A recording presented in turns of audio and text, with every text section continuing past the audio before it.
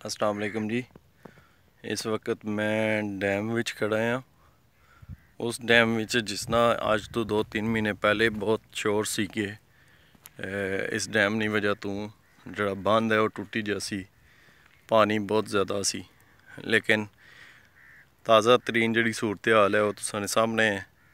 Dam ना पानी काफ़ी नीचे चला गया, क्योंकि छोड़ ही दिता गया सी, जिस शायद डैम ने पानी की वजह तो ਜ਼ਲਜ਼ਲੇ ਆਉਣਾ ਸ਼ੁਰੂ ਹੋਈ ਹੈ ਸਨ ਇਸ ਵਜ੍ਹਾ ਤੋਂ ਆਵਾਮ ਜਿਹੜਾ ਹੈ ਇhtਜਾਜ ਕੀਤਾ ਔਰ ਇhtਜਾਜ ਤੋਂ ਬਾਅਦ ਅ, ਡੈਮ ਨਾਲ ਪਾਣੀ ਛੋੜ ਹੀ ਦਿੱਤਾ ਗਿਆ ਜਿਸ ਨਾਲ ਲੈਵਲ ਬਹੁਤ ਨੀਚੇ ਚਲਾ ਗਿਆ ਜਿਹੜਾ ਤੁਸੀਂ ਨਜ਼ਰ ਆਉਣਾ ਸੀ ਇਸ ਜਗ੍ਹਾ ਇਹ ਜਿਸ ਜਗ੍ਹਾ ਮੈਂ ਖੜਾ ਹਾਂ ਇਸ ਜਗ੍ਹਾ ਵੀ ਪਾਣੀ ਮੌਜੂਦ ਸੀ ਲੇਕਿਨ ਅੱਜ ਕੱਲ ਕਿਉਂਕਿ ਪਾਣੀ ਦੀ ਸਤ੍ਹਾ ਕਾਫੀ ਨੀਚੇ ਚਲੀ ਗਈ ਹੈ ਬਲਕਿ ਇੱਥੇ ਇੱਕ ਪਿੰਡ ਸੀ ਪੂਰਾ ਇਹ ਤੁਸੀਂ ਤੱਕੀ ਸਕਦੇ ਹੋ ਕਿ ਇਹਨਾਂ ਨੇ ਫਰਸ਼ ਵਗੈਰਾ, ਇਹ ਵਾਸ਼ਰੂਮ ਵਗੈਰਾ ਸਾਰਾ ਕੁਝ, ਇਹ ਰਸਤੇ ਸਨ ਇਹਨਾਂ ਨੇ ਪਹਿਲੇ।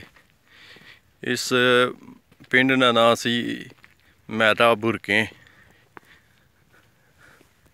ਲੇਕਿਨ ਅੱਜ ਕੱਲ ਇੱਥੇ ਕੋਈ ਵੀ ਇੱਕ ਵੀ ਮਕਾਨ ਬਾਕੀ ਨਹੀਂ ਹੈ। ਇਹ ਗਲੀਆਂ ਬਣੀਆਂ ਉਸ ਵਕਤ ਜਿਹੜੀਆਂ ਬਣਾਈਆਂ ਗਈਆਂ ਸਨ, ਕੁਝ ਮਕਾਨਾਂ ਨੇ ਜਿਹੜੇ ਨਿਸ਼ਾਨ ਹਨ ਬਾਕੀ ਜ਼ਿਆਦਾਤਰ ਮਕਾਨ ਹਨ ਜਿਹੜੇ ਉਹ ਉਹਨਾਂ ਦੇ ਨਿਸ਼ਾਨ ਵੀ ਬਾਕੀ ਨਹੀਂ ਬਚੇ। ਇਹ ਤਾਂ ਕੀ ਸਕਦੇ ਹੋ ਤੁਸੀਂ? ਮਕਾਨ ਬਣੇ ਨੇ ਔਰ ਡੈਮ ਦਾ ਪਾਣੀ ਇਤਨਾ ਉੱਚੀ ਸਤਹ ਪਰ ਆਉਣਾ ਕਿ ਇਹ ਸਾਰਾ ਏਰੀਆ ਜਿਹੜਾ ਡੁੱਬੀ ਜਾਣਾ।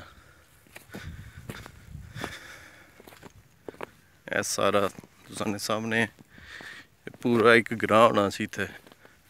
ਲੇਕਿਨ ਅੱਜ ਕੱਲ ਇੱਥੇ ਕੋਈ ਇੱਕ ਵੀ ਬੰਦਾ ਕਿਸੇ ਵੀ ਸੂਰਤ ਰਹਿ ਹੀ ਨਹੀਂ ਸਕਣਾ ਕਿਉਂਕਿ ਕੋਈ ਜਗ੍ਹਾ ਬਚੀ ਨਹੀਂ ਹੈ। ਇਹ ਸਾਰੀ ਜਗ੍ਹਾ ਜਿਹੜੀ ਹੈ ਨਾ, ਡੈਮ ਵਿੱਚ ਡੁੱਬੀ ਜਾਣੀ ਹੈ। ਡੈਮ ਨੇ ਪਾਣੀ ਵਿੱਚ। ਤੱਕੋ ਨੇ ਮੁxtਲਿਫ ਜਿਸ ਤਰ੍ਹਾਂ ਸੈਕਟਰ ਬਣੇ ਹੋਏ ਨੇ। ਨੀਚੇ ਮਾ- ਪੱਥਰ ਲੱਗੇ ਹੈ ਇਹ ਸਾਰਾ। चिप्स वगैरह और है। बड़ा मुश्किल काम है कि अपना घर छोड़ के जाना। यह सामने वो नल ना पाइप लगे है। बड़ा मुश्किल काम है अपना घर छोड़ना। आज़ाद कश्मीर ने जितने भी बंदे पाकिस्तान की रोशन करने वास्ते अपने घर तक नहीं कुर्बानी दे देने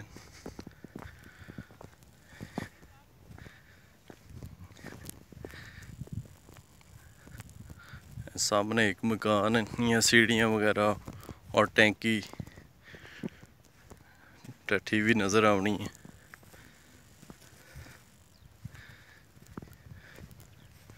ਇਹ ਖੰਭੇ ਦਾ ਨਿਸ਼ਾਨ ਹੈ ਉਹ ਸਾਹਮਣੇ ਵੀ ਇਧਰੋਂ ਬਿਜਲੀ ਜਾਣੀ ਸੀ, ਲੇਕਿਨ ਚੁੰਕੇ ਅੱਜ ਕੱਲ ਇੱਥੇ ਕੋਈ ਰਹਿਣਾ ਨਹੀਂ ਪਿਆ। ਕੋਈ ਵੀ, ਇੱਕ ਵੀ ਬੰਦਾ ਨਹੀਂ ਹੈ ਤੇ ਇਸ ਵਜ੍ਹਾ ਤੋਂ।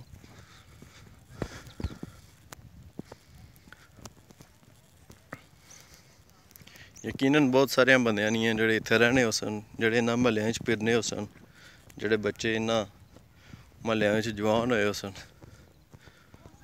ਉਹਨਾਂ ਵਾਸਤੇ ਸੁਨਹਿਰੀ ਯਾਦਾਂ ਨਹੀਂ ਥੈਨੀਆਂ